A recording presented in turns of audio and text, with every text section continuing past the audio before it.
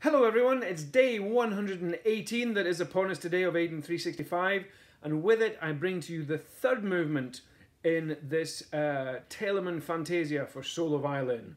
Big Georgie at his best, some might say.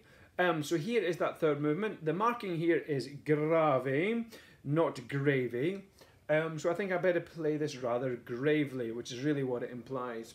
Solemn and stately. There's only three lines of music really, but it does take a couple of seconds to play. It really does.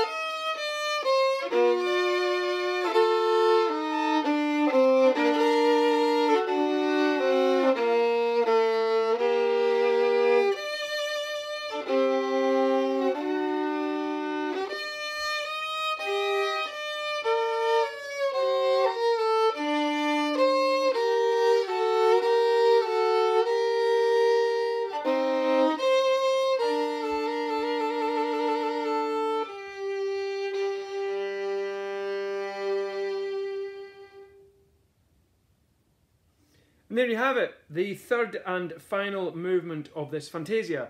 It's not really the final one, because what Telemann then asks you to do is to go back and repeat the um, second movement to close it all out. And that, I guess, is because I've kind of finished on quite a somber uh, note. We're in G minor. It's, you know, it's not very happy, is it? It really isn't.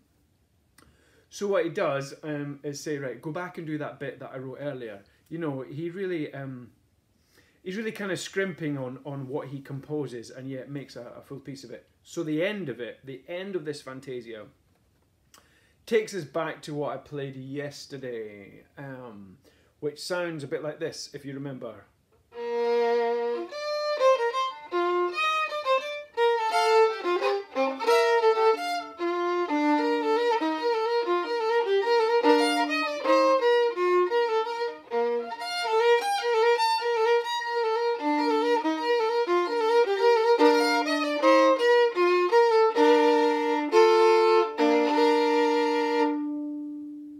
There you go, and I did a little cut there just so you heard the beginning and the end of it.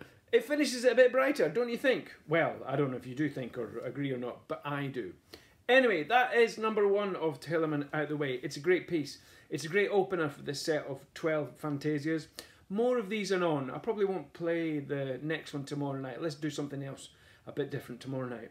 Um, but I definitely think that we will come back to these. Hope you're enjoying them.